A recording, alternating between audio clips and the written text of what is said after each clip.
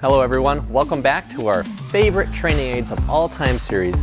This is our third favorite training aid of all time. We want to talk about the Jet Stick today. So of all the things we could go out in the marketplace and get, then why is the Jet Stick number three on our list?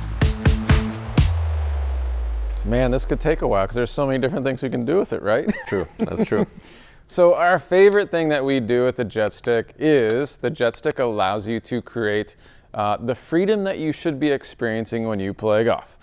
So one of the first things that we like to do with it is we like the player to sense the weight at the end of the jet stick and swing it freely back and forth because that's the same experience that we're searching for when we play. So it allows the player to actually uh, experience what they should be feeling when they play and then they can transfer it right to the golf club with the ball and then they can basically compare those two experiences and use our, uh, our famous one to five scale. Very good. So a lot of you out there trying to get good, there's gadgets, gizmos, bunch of training aids, and you're not exactly clear on what to do or how that training aid may or may not help you. So having said that, uh, the big idea is swinging the club. You have to swing it freely. We have yep. to stand there and swing, make a golf swing. You got it. And this this tool helps you to experience that freedom or that free. Yeah. So show us. So if the only thing in the world you were going to do for a million dollars is make a swinging motion, show us what that would look like.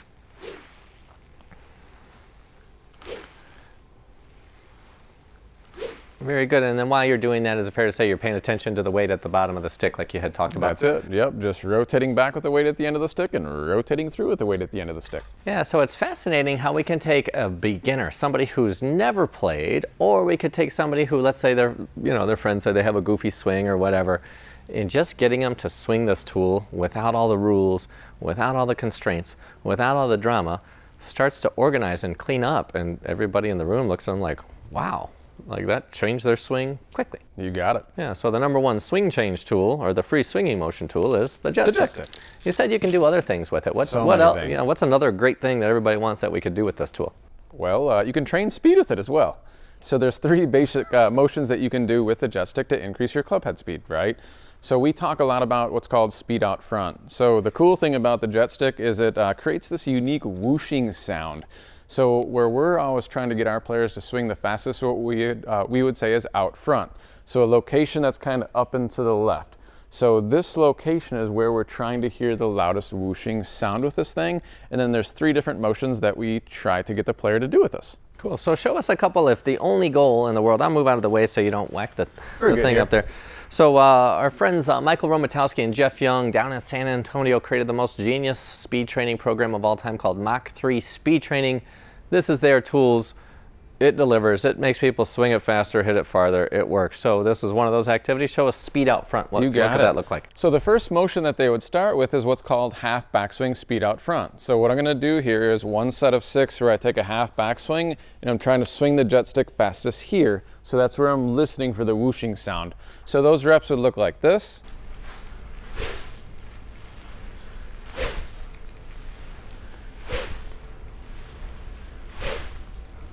Notice all the whooshing is out in front of me. The whoosh is not happening down here, it's not happening back here. We're trying to listen for that whooshing sound up and to the left. Very good.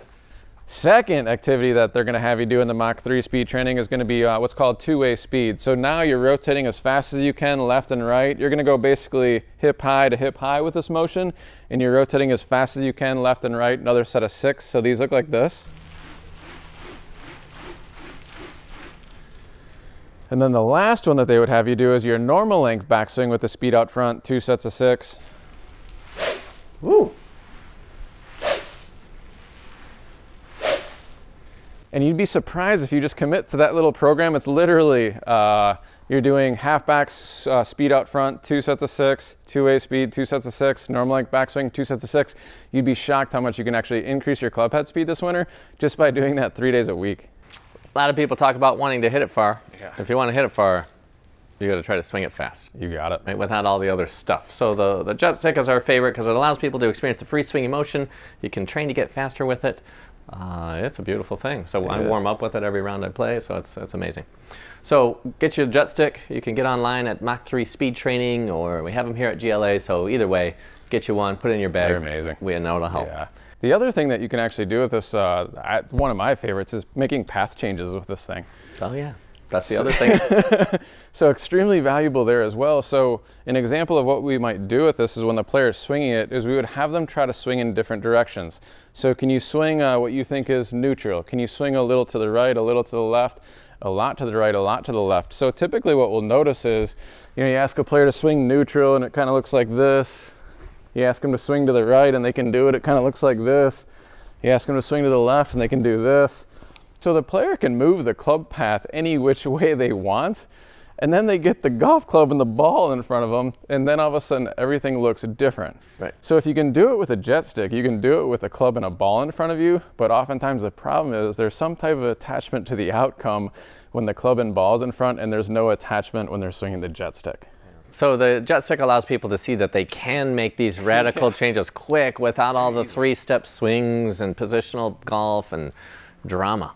So it's a, it's a heck of a tool to find out. You can swing freer, you can swing faster, and you can change your path if you want to. It's no big deal. Yeah, it's actually quite easy. Those are the reasons it's number three on our list. so get you a jet stick. We hope this helps you. Uh, we thank you for joining us, and we'll see you next time.